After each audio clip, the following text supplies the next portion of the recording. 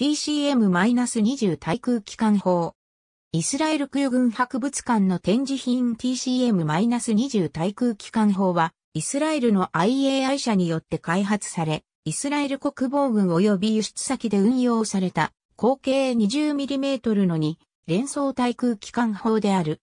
TCM-20 対空機関砲の概略構成は、フランス製のイスパノスイザー HS 404-20mm 機関砲をアメリカ合衆国のマークソン社製 M45 機関銃化に搭載したものとなっている。第二次世界大戦中、アメリカ軍ではイスパノスイザ HS404 のベースであるスイス製のエリコン FF20mm 機関砲を航空機搭載用の機関砲としてだけでなく、陸上や海上で対空機関砲としても使用していた。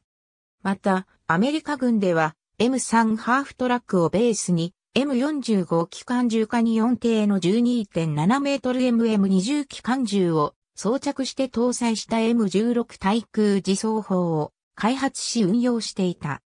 そして M16 対空自走砲の改良型として4丁の M20 機関銃に変えてに連装のエリコン FF20mm 機関砲を搭載した T10E1 自走対空砲が開発された。しかしながらこの車両は結局、アメリカ軍では量産はされなかった。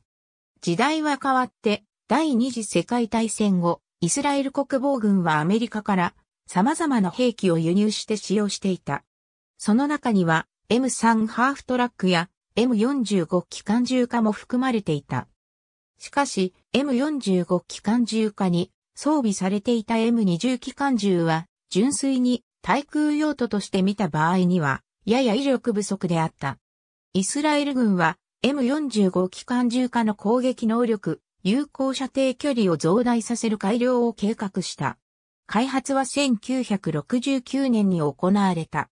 イスラエル軍が前述の T10E1 自走対空砲を参考にしたかは不明であるが、結果として完成した対空機関砲は T10E1 に搭載されていたものと似た構成となっていた。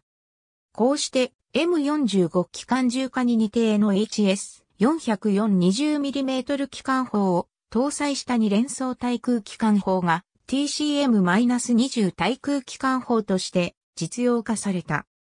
イスラエル軍が搭載機関砲にイスパノスイザ HS404 を選択した理由はイスラエル空軍で使用していた戦闘機の中にこの機関砲を搭載したものがあり、扱いに慣れていたことと退役したこれらの戦闘機に搭載されていた機関砲そのものや予備部品などを再利用できるからであった。生産は1970年代に行われ、生産数は少なくとも370機、多ければ500機以上とみられる。この機関砲は M3 ハーフトラックや BTR-152 装甲車に搭載されて、対空自走砲として使用されたほか、地上設置型として使用されたり、一軸二輪のトレーラーに積載して牽引可能としたものも見られた。1973年に発生した第四次中東戦争において実戦で使用され、手動小巡式の旧式兵器でありながら26機を撃墜する活躍を見せた。TCM-20 は1982年のレバノン侵攻にも投入された。その後イスラエル軍では M163 マフベト、対空自走砲などによって更新され、余剰化した TCM-20 は、イスラエル軍と協力関係にあった南レバノン軍に供与されたほか、中南米やアフリカ諸国にも輸出された。